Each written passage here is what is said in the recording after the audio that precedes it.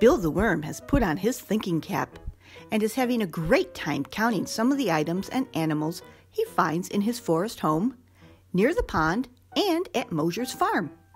Acorns and flies, chickens and mud pies. There's so much to count.